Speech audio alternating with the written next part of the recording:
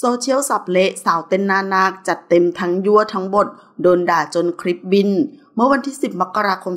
2566 ผู้สื่อข่าวรายงานว่าทวิตเตอร์ Red Skull ได้โพสต์คลิปงานบวชนาคที่วัดแห่งหนึ่ง โดยเป็นคลิปเหตุการณ์ขณะกำลังแห่นาค แล้วมีหญิงสาวคนหนึ่งเต้นหน้านาคด้วยท่าทางที่ไม่เหมาะสม ด้วยท่าเต้นที่เอาก้นไปถูกกับร่างกายของนาคอย่างสนุกสนาน โดยคลิปดังกล่าวถูกถ่ายไว้ แล้วนำไปโพสต์ลง TikTok จนเป็นกระแสวิพากษ์วิจารณ์อย่างกว้างขวาง โดยทางทวิตเตอร์ Red Skull ได้ระบุว่า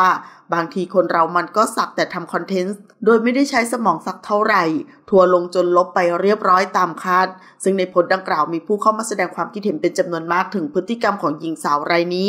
ขอขอบคุณข้อมูลจากข่าวสดขอบคุณค่ะ